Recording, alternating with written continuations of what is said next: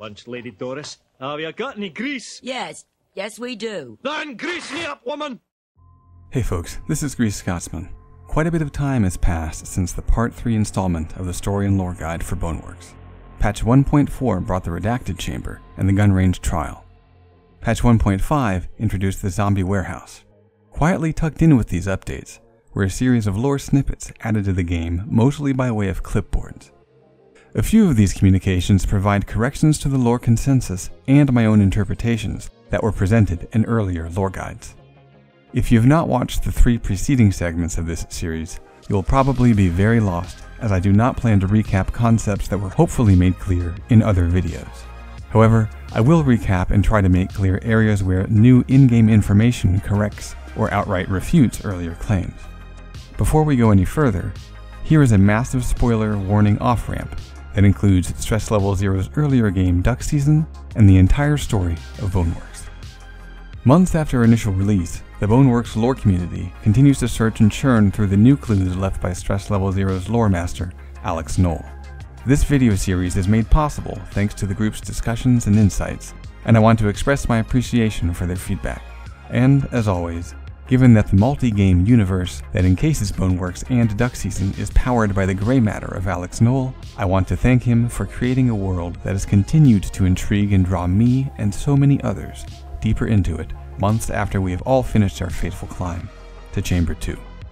The last disclaimer before we get rolling is to make clear that my references to statements made by Alex or other lore hunters during discussions found within the Boneworks lore Discord channel will necessarily be missing some context, since the preceding paragraphs of a longer discussion can't be easily shown in video format. Alex also often replies to lore hunters in a cryptic or playful way, so please take that into account when parsing meaning from his replies. With that said, I do have at least one lore bombshell to drop.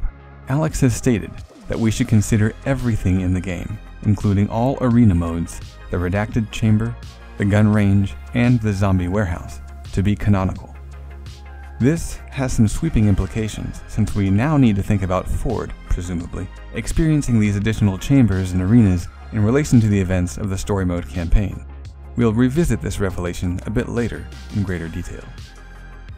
The story and lore updates from patch 1.4 released in April 2020 included a few clipboards strewn throughout the story mode and the addition of the Redacted Chamber and Gun Range Trial. At the end of May, the time of 314 that had normally been displayed on the time tower clock looming in the distance changed to display 620, which coincidentally is the precise date in 1988 during which the events of duck season took place.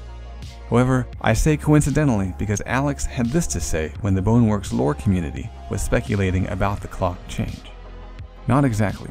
Time clock stuff is generally related to cryptid happenings. Could be passage length, could be the date, could be a specific time, could be a code, could be a riddle. Most importantly, in the end, he said, nobody has enough information to figure it out right now.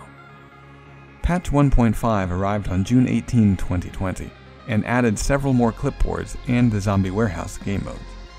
Alex has said that he wished most of the clipboards could have been included in the game's original release, so we should consider the order in which these messages are discovered by the player and ground them in the context of the levels in which we find them. All clipboards will be covered, even the ones that were in the game since launch, since they now weave a narrative that wasn't quite as clear in the earlier releases of the game before their inclusion. Many players probably considered Clippy to be a novelty that provided something interesting if not a little confusing to read in the opening moments of the game. However, closer examination of this clipboard reveals that this short text introduces the Voidway and establishes a tie between the Void and Sentience, one of the game's major themes. The next clipboard discovered is the Monogon Internal Audit Accountability Report telling the player that Ford is being watched, and his suspicious behavior has been a concern to his superiors. This log appears to be a record of Ford's actions just moments ago, giving a clue to Monogon's extensive surveillance capabilities. We also learn that Ford is likely in contact with actors outside of Monogon, cluing the player into the rivalry between Monogon and Gammon, whose logo adorned Ford's headset and the USB device as he entered MythOS in the game's opening cutscene. Finally, the player learns that Ford is very concerned with time, like he's waiting for something to happen, which naturally will draw more attention to the looming clock tower and the cat clocks once they are encountered. If the player chooses to listen to Clippy's pleas and keep him alive in the opening break room encounter, they find him in agony in the museum near the archival offices, as he is now trapped in a display case, unable to fulfill his dreams of tracking tasks and helping people communicate. The rivalry between Gammon and Monogon is further solidified by the clipboard found in the archival room. If they weren't paying attention to the audio announcements upon entering the museum, the player also learns that MythOS is a work in progress and not yet open to the public. The Raffle Day Authorization Promotion Clipboard introduces the concept of keys, as the raffle boxes nearby grant a yellow key that will be needed later in the level. Upon reaching the cafeteria, we finally encounter a clipboard that was added after the game's initial release. The first three questions are pretty standard fare that might give an employer insight into an employee's attitude or skill set. The last question, however, asks the employee to reveal their thoughts about the possibility of communication with extra dimensional entities. This makes sense to those of us who have completed the game or started Boneworks with a general understanding of the Voidway lore unearthed in Duck Season. But to the uninitiated, this clipboard should raise eyebrows, as it hints at the world's deepening departure from the mundane. This clipboard from Mike Hayes mostly reiterates what Hayes is saying over the video communication. However, the last line gives us some really important information. Hayes claims that the Time Tower is the only known working resurrection safe location in Myth. Given Ford's mission, and what I claim to be Ford's destruction or incapacitation of the system clock and Time Tower, this board hints as to why Alora is going to be so upset with Ford once she realizes the full extent of what he's doing. The Time Tower, if demolished, takes with it the last known, working, safe resurrection site. As you approach the Stress Level Zero offices in MythOS City, a clipboard mentioning the Nullmen, who are supposedly just mindless workers made to assist in the construction of MythOS, have been apparently stealing lights with the intent to grow melons. This board draws your attention to the odd and purposeful behavior carried out by these supposedly mindless beings, and focuses on the important connection between melons and the nullmen.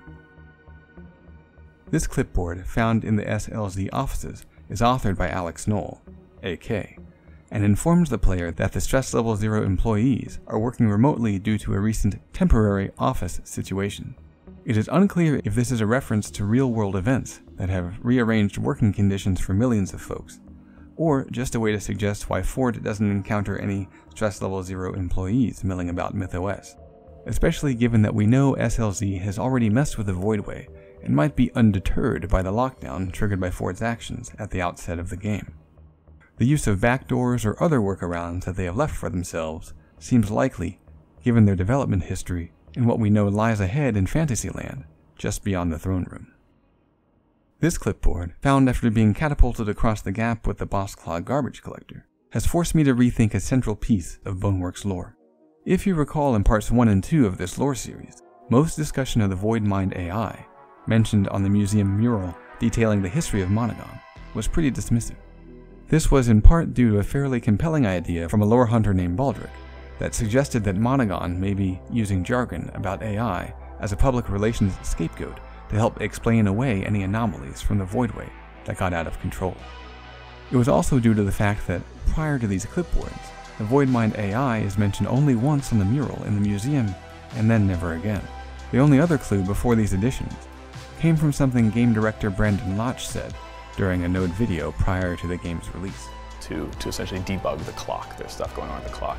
And so what Okay. you're playing is like a visual OS that it's it's self-generating this thing. So you're, you're, we start with your journey to the clock tower to go fix the clock. However, this clipboard and the other two found in this area all point to artificial intelligence as being a far more central theme of the game than was previously realized.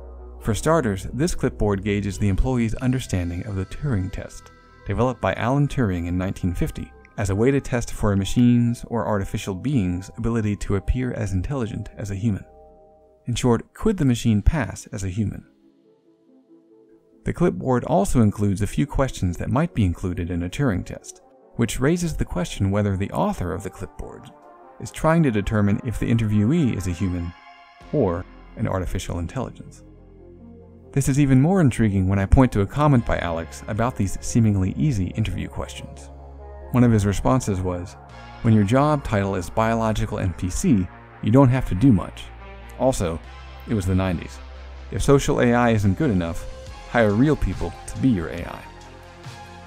The first question on this clipboard is pretty much a recurring joke of despair for Alex at stress level zero. When the bug fix list grows beyond measure and he's inundated with feature requests and other game development issues that force him to work to the bone, Alex often wonders if he should just give it all up and open a pizza place. The second question, however, hits on life and the corporeal. I see this question as a parallel to the messages in the break room focused on the body and the real world versus the void. It provides a somewhat philosophical inquiry into the nature of life, given that MythOS is a completely virtual environment in which organic blood has no purpose. It also seems to be an interesting question that an artificial creature might have for an organic one. The third question I was completely stumped by. At first, I was thinking maybe it was a reference to From Dusk Till Dawn, or an anime, or some book I haven't yet read. I ended up just flat out asking Alex for a hint, and I'm very glad that I did. His response, it's a reference to something that doesn't exist yet. In this third clipboard in the area, the first two questions also give off a Turing test vibe, though the first question might be a slight nod toward the Saber Lake logo, which is a death's head hawk moth. I'll touch a bit more on that later. The third question hits the AI concept home, however, as it is a direct quote from the Blade Runner Voight-Kampff test, used to distinguish replicants, the artificial engineered beings of that universe, from humans. Even more poignant is the fact that the reference to a tortoise in the desert has many links to myths of immortality, which match up well with themes of both Boneworks and Blade Runner. The fact that all three of these clipboards consistently hammer home the idea of artificial intelligence and the theme of distinguishing it from organic intelligence in some way has forced me to reconsider key areas of the Boneworks lore. This shift still plays well with many of the themes discussed at length in previous lore guides. For example, the only clipboard found in Runoff talks about the spread of sentience, reinforcing the poster's warning of nullmen who exhibit conscious thought, and indicates that something in disposal may be its source.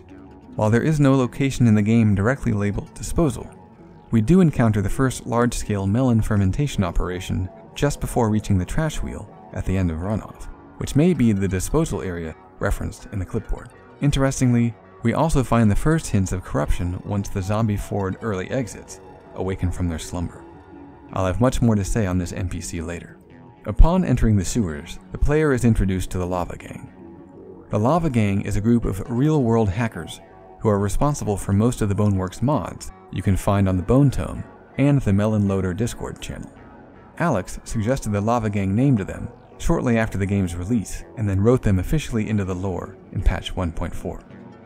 The Lava Gang appears to leave the player an Eder 22 sidearm if you search the upper offices early on in the sewers level. The gift suggests that they know Ford will need it, keeping in mind that if you don't buy anything from the Monomat, this is likely the first firearm to be discovered in the level. In the other offices just before the level's end, we learn that the Lava Gang is specifically responsible for teaching Nullmen how to ferment melons with void energy. The Lava Gang's purpose appears to be to hack MythOS or the Boneworks, and getting the Nullmen to work for them seems a good way to reach that goal. I want to stress that the Lava Gang only mentions the fermentation of melons and does not reference melon belly. I want to take care not to conflate the two things and maintain from the previous lore guides that melons fermented in void light are responsible for the spark of sentience that null bodies experience in the game. However, melon belly and the apparent corruption it causes is likely something separate from that fermentation process. We need to reach the warehouse before we fully understand why this may be the case. The warehouse level's lone clipboard is a game changer, in my view, as it indicates that Monogon employees are supplying the nulls with experimental batches of melon extract. Recall that melon belly is made of hand grown void melons, fermented in time pods for infinity, extracted with pure light, according to the label on the bottle. Alex once referred to pure light as void light, but pure light and hand grown melons hint at a delicate process requiring unadulterated source materials. Yet, this warehouse communication reveals that Monogon employees are exploiting the Nullmen and have essentially tainted their melon source by providing them an experimental extract. Given this new information, I believe this experimental form of melon fermentation is the source of the corruption. We do not know if melon belly itself, when made properly, avoids triggering the corruption.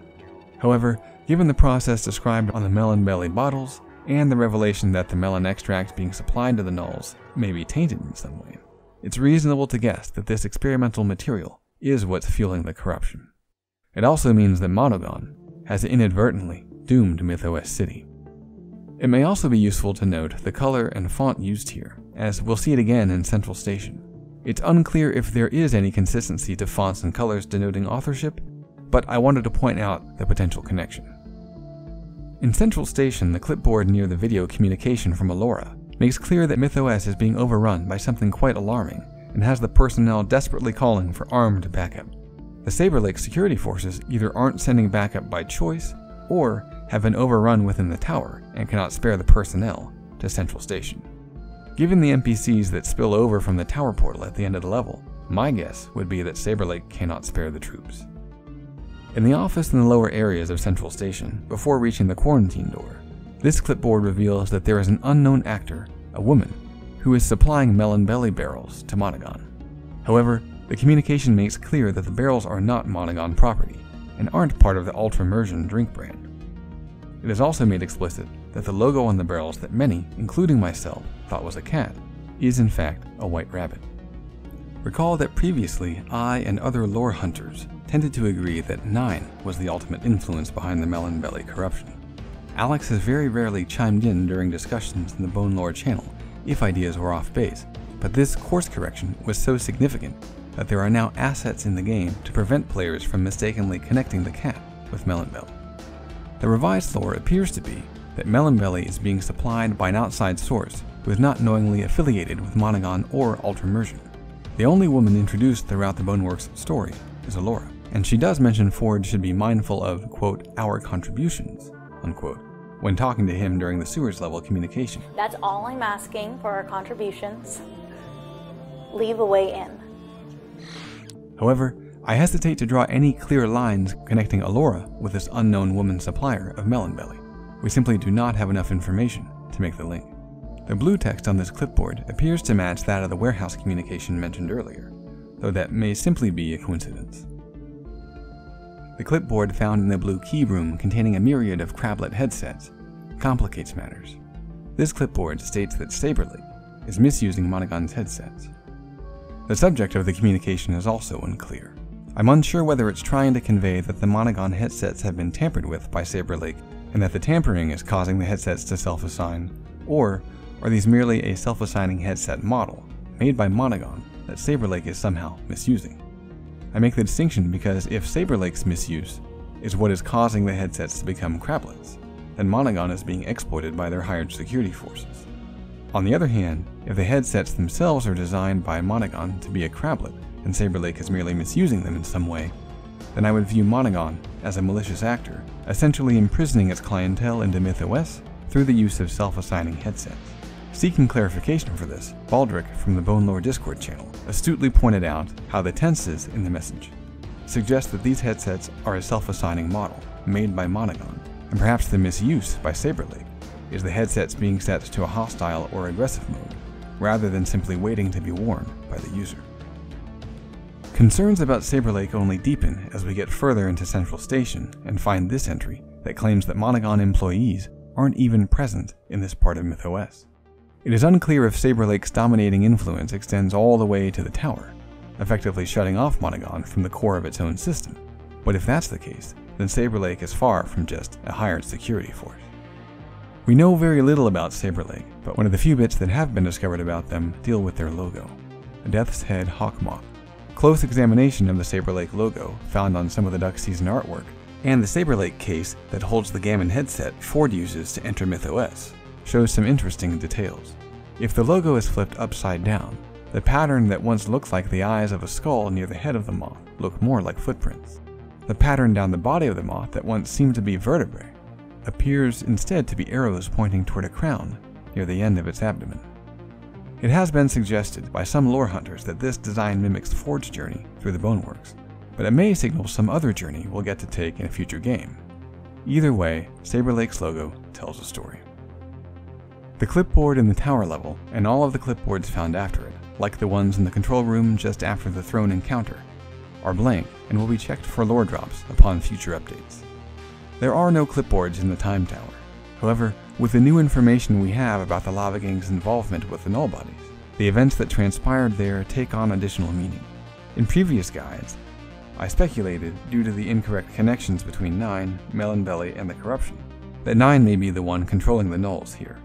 The thread that connected them was based on Nine's message to David in Duck Season, where Nine indicates a desire to free others, and considering that SLZ is mucking with the Voidway, and David being tricked into completing a puzzle, opened a gate allowing Nine's escape, the idea seemed reasonable at the time, though I was clearly out on a limb. However, recall that Mike Hayes sent Ford a message near the end of Tower, letting him know that the Nullmen were acting strangely around the clock in Time Tower, pulling cores from it in what Hayes thought might be an attempt to open a void gate. Something is definitely controlling the Nullmen. They're pulling gravity cores from the system clock, maybe to open some kind of void gate. I, I don't know. The null bodies in the level appeared to be uncorrupted, and we don't really have a way of determining if they were conscious, or even if they were doing the bidding of the Lava Gang. The only hint they may have been was due to Hayes' confusion and surprise by their behavior. If the Nulls were acting at the behest of the Lava Gang, then it appears that the group has an interest in opening a Void Gate. Hopefully it's been made clear that the clipboard lore additions, if I have interpreted them correctly, have shifted the events of the main story considerably. Let's finally turn to the new game modes and chambers added in patches 1.4 and 1.5. It is important to make clear that while Alex has stated that these game modes and chambers are canonical, we don't know the timing of Ford's interaction with them, or if our Ford is the iteration of Ford to experience them. I believe the only potential grounding that suggests a common thread or continuity is the fact that the modules get added to the main menu. Before diving into the redacted chamber, it's important to lay out a key concept of its gameplay recursion loops. Doing so will also allow us to come full circle and address the central theme of this guide artificial intelligence. When you complete the chamber, you are awarded with the achievement Recursion, recursion through redacted. Let's break down recursion loops, as the term is likely only familiar to folks with a coding background. Let's start with basic iterative loops. In programming, a loop simply performs some grouped lines of code, often called a block of code, as many times as is specified in the program. In other words, if you wanted to count to 10 by 2, instead of writing out several math equations like this, 2 plus 0 equals 2, 2 plus 2 equals 4, and so on until you get to 2 plus 8 equals 10, you could instead write something like this, say in JavaScript. Variable x equals 0. While x is less than 10, set x equal to 2 plus the current value of x, and then write out the result, using a document write statement. In this case, the curly braces denote our block of code, any lines of code found between these braces get repeatedly executed. We're simply running this same bit of code over and over to add 2 to x, and then write out the result. The usefulness of the loop doesn't seem very obvious in this simple case, as it takes most humans about as long to write out the equations as it would be to write the code with the loop. However, now imagine that we wanted to count to 8,000 by 2s. All of a sudden, the idea of writing out 2 plus whatever 4,000 times seems silly and time consuming. Yet, using a loop, we only need to change the condition of when to end, like so, while x is less than 8000. Everything else stays the same, but now our loop will count by 2's all the way to 8000 and print out the results of each iteration. Hopefully this example illustrates the power of loops and why coders nerd out about them. So that's a standard iterative loop where we specify the start and end conditions beforehand. In each case, before the loop was executed, there was a check to see if the conditions were met, while x was less than 10. If x was less than 10, the code ran. As soon as x was greater or equal to 10, the code did not run. Now let's define a recursion loop. A recursion loop is a loop that calls itself and does not necessarily need the start and end parameters defined. The only information a recursion loop needs is the desired value or outcome being sought. In other words, loop until we have the information we need. The info being sought is often called the base case. A good example of when to use a recursion loop would be something like solving for mathematical factorials, where you use the answer of the previous multiplied values to help solve the current step in the sequence. Here's a general look at what the code might look like to solve for any factorial of an integer. If this looks like a bunch of nonsense, don't worry about it. The key takeaway to understand here is that recursive functions call themselves. However, if the base condition is never met, that means the loop will literally execute forever. This is usually not a good thing when it comes to actual programming, and it takes resources, like the memory of your computer, to continually loop through sets of code, and if that code is designed poorly or intentionally to never end, then the amount of memory used by the looping program grows and grows indefinitely, leading to memory leaks, errors, and program crashes. In the context of Boneworks, you can see why a geek like me got really excited as soon as I realized what was happening in the redacted chamber. Thankfully, Stress Level Zero is a merciful crew, and Ford only needs to loop or recurse through the redacted chamber about three or four times until the base case, the appearance of the gun range module, and the cycle can be exited the next time Ford reaches the welcome home door. However, you'll notice that with each iteration, the enemies are more abundant.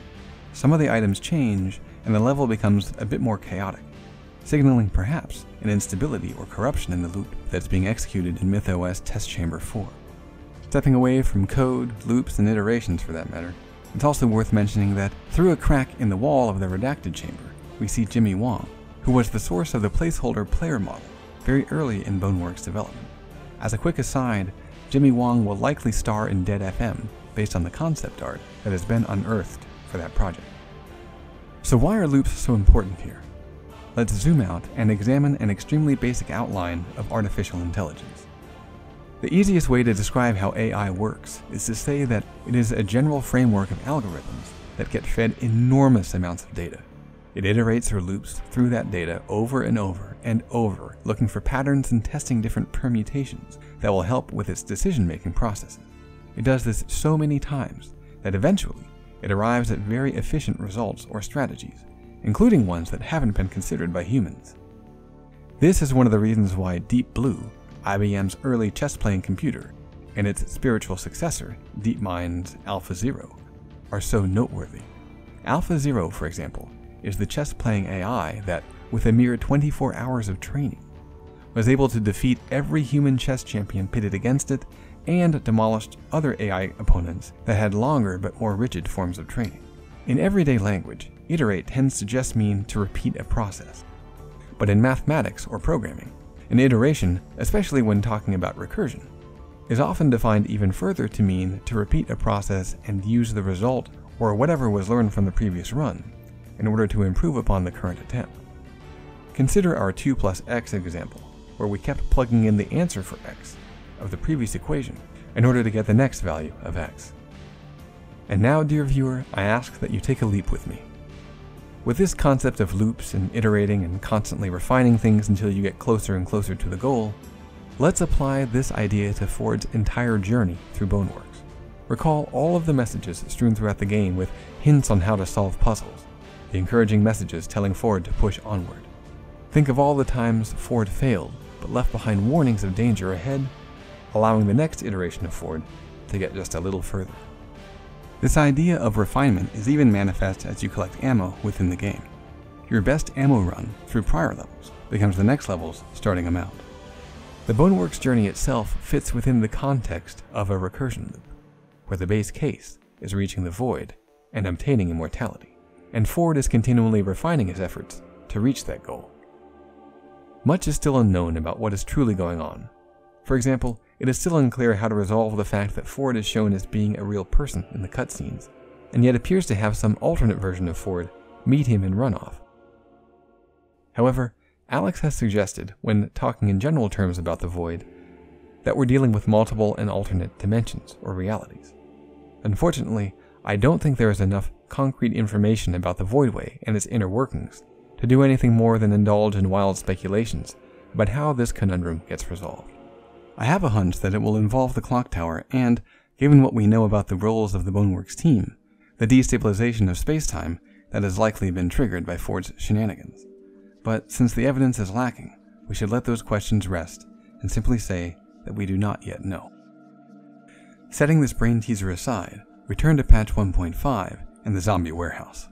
Lockdown is interesting as it begins and ends with a cat clock that appears to taunt you with a powerful weapon at the mode's end. Obtaining the Dev Manipulator only after you would have need for it keeps in line with the Trickster Cryptid motif, especially considering that the only way to end the level is to kill yourself. Two of the other game modes don't appear to have any strong lore relevance. However, in my mind, the most significant mode from a lore perspective is Cure. Throughout the story, the only NPCs wearing a VR headset are the zombies jamming to the beats in Tower. Keep in mind that the VR junkie Ford, who is hostile to Ford in the sandbox modes and sometimes wears a headset, never actually shows up within the story. It is true that the VR junkie Ford model without a VR headset appears at the start of Runoff, but that Ford's behavior appears to be both friendly and helpful. As stated in part 2, Alex has made clear that we will need to wait for additional lore drops, and likely even entirely new games, before we learn more about this strange, helpful, yet hairless Ford at Runoff's outset. We know now that the Lava Gang is responsible for teaching the Nulls to ferment melons. However, they specifically say melons and not melon belly. We've also learned that the barrels of melon belly, adorned with a rabbit logo, are actually being supplied by some unknown woman who isn't openly affiliated with Monogon or Ultramersion. The new information found in the warehouse tells us that the melon extract being provided to the Nulls by Monogon employees is experimental and potentially tainted. Recall the rudimentary Fords encountered in the dungeon level, which I labeled Husk Fords in earlier guides, because they appeared to be Fords that were missing something. I agree with the lore consensus view that these Fords were empty rigs, left behind after Ford's consciousness crossed into the Voidway. With those pieces on the board, let's now turn our attention back to the Voidmind AI. According to the museum's information wall, the Voidmind AI strives to create an infinitely expanding virtual space for work, education, and life. The rig, also described in the museum as the Monogon supplied body UI, that allows for metaphysical connection between virtual and void storage. It's the avatar that a real world person uses to interact with MythOS. What if these Husk Ford rigs are animated by the Void Mind AI once Ford's consciousness vacates the shell? For one thing, that would help explain why, in addition to the lockdown caused by the Void leaks, there are only Ford rigs in MythOS and Fantasyland, where presumably there was not a lockdown. It also helps explain the learning experience on display at the start of the dungeon level, where the Husk Ford that greets you needs to spend some time mimicking your actions until they are able to wave their arms and walk on their own. Finally, it also points to a reason why Monogon clipboards are asking prospective employees Turing test questions that try to distinguish between artificial intelligence and humans. Either the Voidmind AI is using the responses to enrich its data so it can behave more human-like, or Monogon is concerned it won't be able to distinguish between AI-controlled NPCs and Myth's human inhabitants. Brandon from SLZ once referred to zombie fords as a form of corruption in an early Node video. So these guys are a, a corruption within the system. Okay. I'll say no more. And it stands to reason that zombie fords and the corrupted nullmen result when they imbibe batches of melon belly that appears to have been made with an experimental form of melon extract. In the zombie warehouse, the Cure game mode reveals an unambiguous line between zombie Fords and these Husk Fords. Upon successfully completing the cure, the player is able to remove the corruption, reverting the zombie Fords back to Husk Fords. On occasion, these cured Fords will even exclaim, It's you, which suggests that these husks recognize you as being special.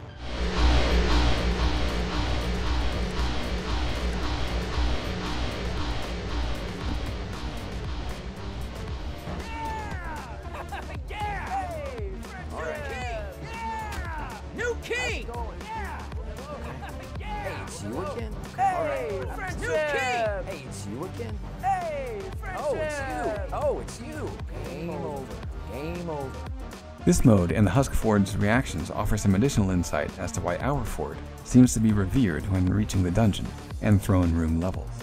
Recall in Part 3 that themes of emancipation were established for both Husk Fords and the Nullmen. The Cure game mode carries this concept forward and better explains the stained glass depictions of our Ford with a halo. Similarly, for each iteration, the Husk Fords worship the system clock because it acts as a harbinger of our Ford's arrival. There are still many questions left to answer, but I'm concerned we do not yet have enough information to safely come to meaningful conclusions about those questions. So, I'll end the guide here until we get our next lore drop. As always, I want to thank the Stress Level Zero team for creating such an amazing game, and offer my appreciation to the members of the Bone Lore Discord channel for the continued support and feedback that makes these guides possible. For those thirsting for more, we still have two doors enveloped by pockets of the void awaiting us in the sewers level. Alex has stated clearly that these doors do not yet reveal anything. There are no hidden tricks to unlocking them as of patch 1.5, but you can rest assured as each new update is released, I, along with an army of like minded lore hunters in the Boneworks community, will be checking them along with every other nook and corner of the game for hints that might fill in the gaps and answer the questions that remain. Until then, dear viewer, thanks for tuning in.